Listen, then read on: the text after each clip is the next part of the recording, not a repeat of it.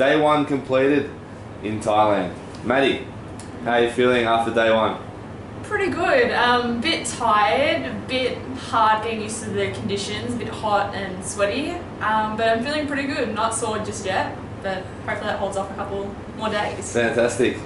Uh, Mindy, how did we go to go today against the practice match uh, against Thailand? Um, well, we know that there's a lot of stuff to work on now, but it was a good start. Yeah, how did we go? Win or lose? Uh, we lost, but there was a few points that were very close. Fantastic.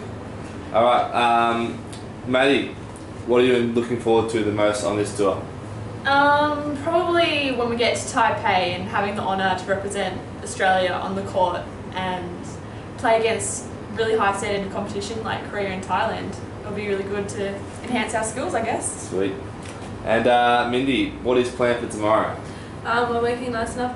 Oh, wow. we're waking up nice and early to do some stretching, and then breakfast and a gym session before lunch, and then training and another practice match, and then we come back home for dinner, and then we finish with the meeting. Fantastic. All right, day one down. More updates coming soon. Stay tuned. You should get